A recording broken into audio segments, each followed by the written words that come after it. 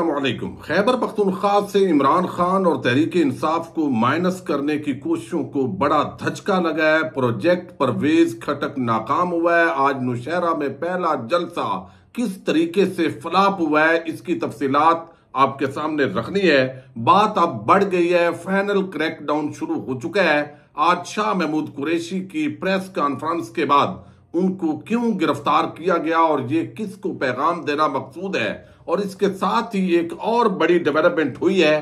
Peshawar high court ने आज बड़ा खड़ा किया है। Chief justice Peshawar high court ने जजेस के नाम एक लेटर लिखा है। खबरदार अब किसी को इस तरीके से गिरफ़्तार मत करें। ये क्या पैगाम है और इसका क्या इंपैक्ट पड़ेगा?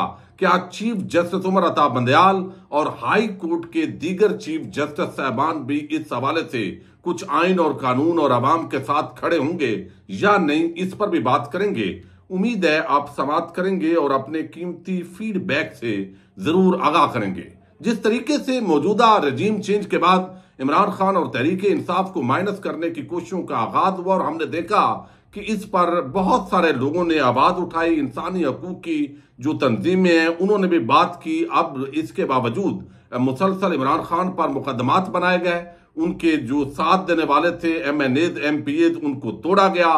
कुछ राजा रियाज की सरबराही के अंदर M P M N As टूटे, लेकिन फिर हमने देखा कि जहांगीर तरीन की पार्टी बनी, परवेज खट्टर की पार्टी बनी, और ये तासर दिया गया कि इमरान खान और तहरीक इंसाफ इज़ नो मोर। इसके बावजूद जो आवाम की बड़ी तादाद है, वो इस वक्त भी इमरान खान के साथ खड़ी हुई है। एक तरफ़ ताकतवर हलकों की अपनी कोशिशें और दूसरी तरफ़ जो पीडीएम प्लस टोला है, उन्होंने जो 16 महीने की अपनी कारकर्दगी दिखाई है, इससे इमरान खान की पॉपुलैरिटी के अंदर मजीद इजाफा हो गया है। अब एक फाइनल राउंड तो शुरू हो चुका है, लेकिन जो जिस तरह इंसानी हकूक की पामालियाँ हुई हैं, जिस तरह उस्मान डार की वालदा ने आज बयान किया कि उनका दुपट्टा उतारा गया, उनके बाल नोचे गए, ये इंतहाई एक अजीब किस्म की सूरत हाल पैदा हुई है।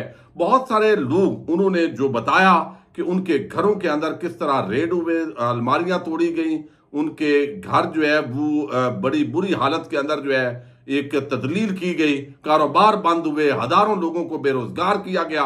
लेकिन इसके बावजूद जो इंतकामी कार्रवाई हैं, वो बढ़ती जा रही हैं। अब इस पर अदलिया से एक उम्मीद थी कि चीफ जस्टिस उमर अता बंदयाल जब 9-10 अप्रैल 2022 की रात थी और जब उन्होंने देखा कि हमने तो आइन को तोड़ने से बचाया, हमने तो मुल्क के आइन के साथ खड़े हैं तो ये तो थी कि जब इंसानी हकूक की इतने बड़े पैमाने पर ये पामालियाँ हो रही हैं तो इस पर भी चीफ जस्टिस साहब को कुछ आइन याद आएगा। लेकिन उमर अता बंदयाल साहब ने ट्रक की बत्ती के पीछे अवाम को लगाए रखा, बाकी जजज ने पूरी तरह हुकूमत की कुछ जजज ने सहूलतकारी की, और किसी भी आम ऐसा फैसला नहीं हो सका जिस पर अमल दरामद हो। के पी के पंजाब के अंदर इंतबात उस मामले के अंदर भी इंतहाई जो है, वो नाकामी का सामना करना पड़ा। और अब तो ऐसे लगता है कि जो चाहे जहाँ चाहे गिरफ़्तार करे तशद करे, बच्चों को उठाए, औरतों की तदलील करे, उस पर कोई भी जज रिलीफ देने के लिए तैयार नहीं है। और अगर एक आध जज कोई फैसला देता है तो उस पर अमल दरामद नहीं होता, फिर डबल बेंच डिवीज़न बेंच के अंदर उस फैसले को उड़ा दिया जाता है। अब पिशावर हाईकोर्ट के अंदर ये बड़ी पेशरफ आई हुई है और chief justice Peshawar high court ने आज एक बड़ा सर्कुलर जारी किया है और पिछले दिनों कुछ उन्होंने इस तरह के फैसले भी दिए हैं जिसके अंदर ब्यूरोक्रेसी को खास तौर पर जो पुलिस डिपार्टमेंट है, उनको इंतबाह किया गया, उनके खिलाफ जो कार्रवाई है उसका इंदिया दिया गया कि जब लोगों की एक मरतबा जमानत हो जाती है तो उस जमानत के बावजूद नए केसेस के अंदर फौरी तौर पर नए केसेस डालकर उनको गिरफ़्तार करने के जो हरबे हैं, ये बड़े अदालत के लिए शर्मिंदगी का बात है।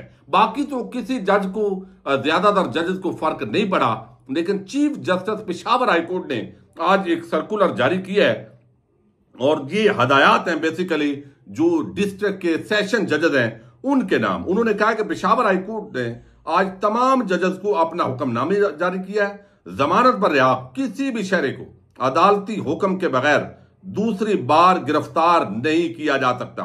चीफ जस्टिस बंदयाल और आमर फारूक, वो तो इससे शायद फ़र्क ना जो है वो उनको पड़े, लेकिन पाकिस्तानी अवाम और खास तौर पर केपीके के अंदर जो बार बार गिरफ्तारियाँ, रिहाइयाँ और अदालती फैसलों को पाँव तले रौंदना इसकी बहरहाल ज़रूर इस पर एक्शन हुआ है। देखते हैं अब इस पर इदारे जो है, वो कहाँ तक अमल दरामद करवाते हैं। दूसरी तरफ़ हमने देखा है कि अब ऐसे लगता है, जिस तरह मोहसन लगारी, उनके बेटे की जो है वो मुबैना तौर पर आडियो उनको सुनाई गई।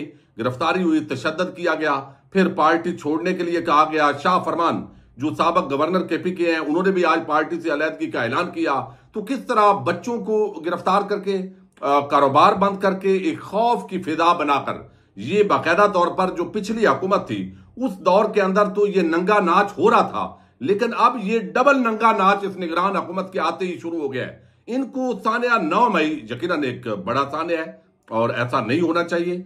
जिन लोगों ने कानून से तजावत किया है, उनके खिलाफ कानूनी कार्रवाई होनी चाहिए। लेकिन इस साने की आड़ के अंदर, बहुत सारे बेगुनाह लोगों के साथ जो रवैया रवा रखा जा रहा है तो ऐसे लगता है कि इस मुल्क के अंदर हर एक की तोहिन है, यानी हर इदारे की। खा वो फौज हो खा वो अदलिया हो, सियासतदान हो, वो सहाफी हो, वो दीगर कम्युनिटीज हो। अगर किसी की तोहिन नहीं है तो वो पाकिस्तान की अवाम है। वो किसी भी सियासी जमात से ताल्लक रखते हूँ, लेकिन इस तरह कुचल देना, इस तरह कार्रवाइयाँ करना, ये अजीब सूरत हाल है। जिस तरह उस्मान डार के घर गुजश्ता रोज उनसे छत छीन ली गई घर को ताले लगाए गए बिज़नेस बंद किया गया। इस पर आज शाह महमूद कुरैशी ने एक आम प्रेस कॉन्फ्रेंस की है नेशनल प्रेस क्लब के अंदर। और आप सुन चुके हैं कि उन्होंने जो प्रेस कॉन्फ्रेंस की और उन्होंने बताया कि ये जो जुल्म है, इसको बंद होना चाहिए। ये ना इखलाकियात इजाज़त देती है, ना आइन और ना कानून। इमरान खान का कोई मुतबादल नहीं हो सकता। पार्टी में कोई इख्तलाफात नहीं है। जो सलूक, उस्मान डार समेत दीगर रहनुमाओं की फैमिलीज़ के साथ किया जा रहा है, क्या ये लेवल प्लेइंग फ़ील्ड है? इस माहौल में साफ़ शफाफ इलेक्शन कैसे होंगे? नब्बे दिन से जायद हुकूमत की गई तो वो गैर आईनी होगा। तो ये एक मामला था, इस तरह की गुफ्तु उन्होंने की, लेकिन वो घर पहुँचे, और घर पहुँचने के साथ ही उनको गिरफ़्तार कर लिया गया। अब गिरफ्तारी जो है, वो एफ़ आई ए, जो है, उनके हवाले किया गया है, और कहा गया है कि साइफर जो लीक हुआ, उस मामले के अंदर चूँकि इमरान खान से पूछ पूछ जारी है और ये जो मुकदमा है अब इसी तनादर के अंदर शाह महमूद कुरैशी को इसी मुकदमे के अंदर गिरफ़्तार किया गया गुजशत दिनों जब शाह महमूद कुरैशी की रिहाई हुई तो उसके बाद बहुत सारे सवाल खड़े हुए और कुछ राजा रियाज जैसे लोग, उन्होंने ये तासर दिया कि शाह महमूद कुरैशी जो है, वो बारगेनिंग के तहत बाहर आए हैं। तो लगता यह है कि शाह महमूद कुरैशी से जो एक्सपेक्टेशन थी, या जो शाह महमूद कुरैशी के ज़रिए शायद पीटीआई से कुछ मनवाना चाहते थे तो उसका फ़ायदा नहीं हुआ और अब उनको दोबारा जो है इस मुकदमे के अंदर गिरफ़्तार किया गया और ये शाह महमूद कुरैशी की जो गिरफ्तारी है और बाकी लोगों के गिर्द भी। अब मैक्सिमम ऐसे लगता है कि तहरीके इंसाफ के खिलाफ फाइनल राउंड शुरू हो चुका है। जिन लोगों ने पहले पार्टी नहीं छोड़ी, चुके थोड़ी तादाद के अंदर लोगों ने छोड़ी है और उसका भी जो पब्लिक मोमेंटम है, जो मकबूलियत है, उसके अंदर इजाफे की वजह से सब ताकतें खायफ हैं और वो चाहते हैं कि किसी तरीके से जो पीडीएम टोला है, खास तौर पर उनको तो परेशानी है। वो चाहते हैं कि पूरी तरह जो है वो एक कार्रवाई हो। तो अब उसको हतमी शक्ल दी जा रही है। बहुत सारे अरकान के खिलाफ अब निगरान हुकूमत आने के बाद मजीद कार्रवाइयाँ तेज हो गई हैं और अब मजीद गिरफ्तारियाँ, मजीद लोगों को उठाना और फिर पार्टी छुड़वाना, ये एक आम जो है वो मिशन है, जिसके तहत शाह महमूद कुरैशी को भी आज जो है वो गिरफ़्तार कर लिया गया। प्रेस कॉन्फ्रेंस उनको महँगी पड़ी है।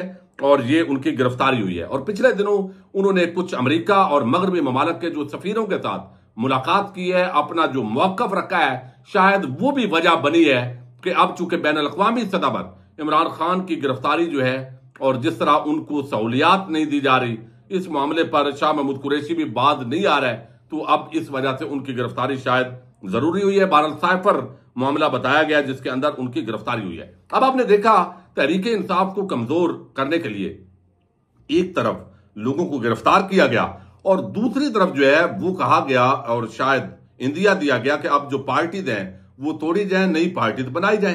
तो एक तरफ़ जहांगीर तरीन की पार्टी बनाई गई, इस्तेकाम पाकिस्तान पार्टी, उस वो भी पहले दिन के अंदर इफलाप हो गई। उसके अंदर बहुत सारे लोग जाने के लिए तैयार नहीं है और ये भी कहा जा रहा है कि शायद अगला इलेक्शन आज़ाद उम्मीदवारों के दरमियान होगा। तहरीके इंसाफ का जो बल्ले का निशान है, उसको भी खत्म करने की बात हो रही है। तो ये सारी चीज़ें जो है, वो साथ साथ चल रही हैं। लेकिन जो मामला है, वो इस तरफ़ बढ़ा है कि अब केपीके के अंदर जो तहरीके इंसाफ पार्लियामेंटेरियन परवेज खटक के नाम से बनाई गई थी, और जिसमें पुलिस की कस्टडी के अंदर जो बंदे मौजूद थे, उनको भी लाया गया। एक खौफ की फिजा कायम की गई। फिर लोगों ने इनकार किया कि भाई हम तो वैसे ही उनको ज़बरदस्ती लाया गया था। और जो दावा किया गया कि सतावन और बावन लोग अरकान असम्बली मौजूद हैं हमारे साथ, वो भी नहीं थे। लेकिन अब जो सख्ती की जा रही है, उसके ज़रिए परवेज खटक को शायद मकसूद ये है कि वो, उनको ताकतवर किया जाए। तो पहला जलसा परवेज खटक जो है, उन्होंने अपने इलाके नौशहरा में रखा और ये जलसा इंतहाई फलाप हुआ है। और खुद जो परवेज खटक है उन्होंने भी जो है वो आज खफगी का इदार किया है, परेशानी का इदार किया है, शहर के लोगों ने, और जो जिला नुशहरा है, वहाँ से अवाम ने उसको रद्द किया, फिर कोशिश की गई कि किसी तरीके से गाड़ियों के अंदर लाद कर जैसे तैसे करके कुछ ना कुछ बाहर से लोगों को लाया जाए। लेकिन बैर से अब कितने लोगों को लाया जा सकता है? तो आज बिल आखिर तहरीक इंसाफ का जो चैप्टर है वो कलोद होने की बजाय मजीद बढ़ गया है। खैबर पख्तूनखा की आवाम के अंदर इमरान खान की और ज़्यादा मकबूलियत में इजाफा हुआ है। इमरान खान के डंके बजे हुए हैं और अब जो जेल के अंदर है तो जहर हमदर्दी के अंदर भी इजाफा हुआ है। तो एक फ्लाप शो है।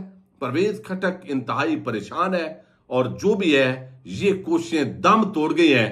अब इस सारे मामले के अंदर आज पहला शो जो तहरीक इंसाफ पार्लियामेंटेरियन के नाम से परवेज खटक ने जमात बनाई। वो इंतहाई फलाप, नाकाम, चंद सौ लोग उसके अंदर शरीक हुए हैं। और अब जो है वो उसकी कोशिश की गई है लाइटों के ज़रिए और बाकी टीवी चैनल उसको बढ़ा चढ़ाकर बयान करें। तो ये इस वक्त असल सूरत हाल है। देखते हैं आने वाले दिनों के अंदर जिस तरह पीटीआई को खत्म करने, तहरीक इंसाफ से जो उम्मीदवार हैं या जो करीबी लोग हैं, इमरान खान की उनको तोड़ने की कोशिश हो रही है, वो कहाँ तक कामयाब होती है? इजाज़त दीजिएगा अल्लाह हाफिज।